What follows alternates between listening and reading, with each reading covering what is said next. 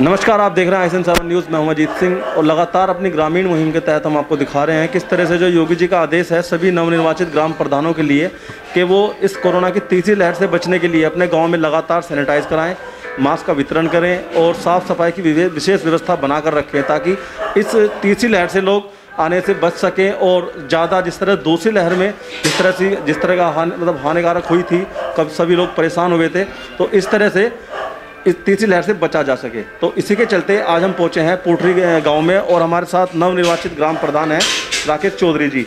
आपको बता दें बत्तीस साल पहले भी ये प्रधान रहे थे और अब बत्तीस साल बाद यहाँ पर दो, दूसरी बार जो है जीते हैं। तो जनता में काफ़ी खुशी की लहर यहाँ पर दिख रही है और आपको बता दें यहाँ पर लगातार सैनिटाइज हुआ है नहीं हुआ है हम सारी जानकारी प्रधान जी से लेंगे। प्रधान जी नमस्कार। नमस्कार। प्रधान जी आपको बहुत बहुत बधाई कि आप दोबारा से एक बार यहाँ पर प्रधान बने। तो सैनिटाइजर बराबर हो रहा है, सफ़ाई का विशेष ध्यान रखा जा रहा है। लेकिन इस सफ़ाई कर्मचारी जो गाँव में छोड़े हुए हैं, इन सफ़ाई कर्मचारियों की ड्यूटी सब अधिकारी रोज अपने घर पे लगाए रखते हैं। ब्लॉक में लगी रहती सफ़ाई कर्मचारी आते नहीं काम करने के लिए, हम खुद करवा रहे हैं। इनका तो ब्लॉक में पहली मीटिंग होगी तो सफ़ाई कर्मचारी है, सबसे पहले आवाज़ इसी के खिलाफ उठानी है। मैंने तो बल्कि एडीओ पंचायत से कल कह भी दिया कि ब्लॉक के अंदर भूख हड़ताल पर बैठ जाऊँगा।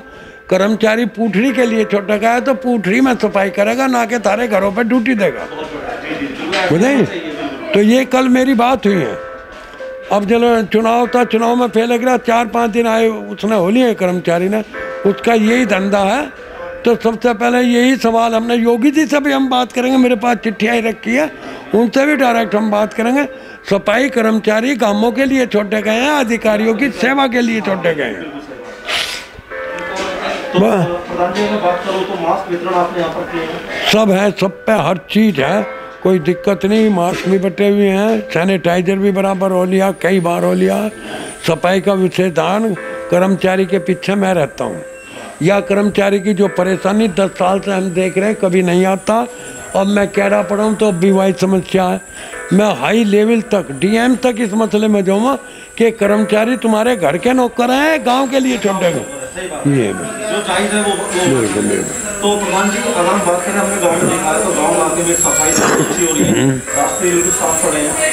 हमने तो गाँव में एंटर हुए तो इंटरलॉकिंग लगी हुई है बिल्कुल साफ़ सुथरा गाँव लगा है। हम्म। तो यहाँ पर कोरोना काल में जब दूसरी लहर चल रही थी तो कुछ केसेस वगैरह मिले? कुछ केस आए थे भगवान की दुआ रही है कोई हादसा नहीं हुआ सब ठीक हो गया हमारे यहाँ। दस पंद्रह केस ऐसे थे कि कुदरत की दुआ से सभी ठीक ठाक होकर अपने घर पा लिए। हमारे यहाँ कोई कोरोना से कोई मौत नहीं हुई। है में बड़ा विकास कार्य किस ओर अपना ध्यान देंगे आप? मैं सबसे पहले गाँव की सफ़ाई। नंबर दो बिजली की व्यवस्था। शांति बनाए रखना गाँव में। जो भी मतलब ये गाँव सुविधाओं से वंचित है उन उन पर ज़्यादा पैराइटी से जोड़ दूँगा। तो यहाँ पर आपने देखा राकेश प्रधान जी का बयान आ चुका है। उन्होंने साफ़ कहा कि यहाँ पर लगभग कई बार तो सैनिटाइज कर दिया गया गाँव मास्क बांट दिए गए हैं। साफ़ सफ़ाई की व्यवस्था जोरों शोरों पे चल रही है और उनके साथ जो एक परेशानी लगातार पिछले कई सालों से बनी हुई है वो ये है कि सफ़ाई कर्मचारी गाँव में ना आके वो अधिकारियों की सेवा में लगा रहता है। और इस पर कई बार प्रधान जी ने ऑब्जेक्शन उठाया है और बता रहे हैं कि डीएम सर तक भी जाएँगे बड़े लेवल तक हाई लेवल तक उसको पहुँचाएँगे। उनको अपने गाँव में सफ़ाई सफ़ाई कर्मचारी डेली चाहिए और पूरे गाँव में जो सफ़ाई कर सके ताकि गाँव में किसी भी तरह की गंदगी देखने को ना मिले।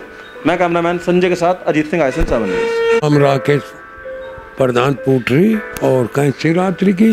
शिवरात्रि की सभी कावड़ भाइयों को, सभी को शुभकामना मेरी तरफ़ से।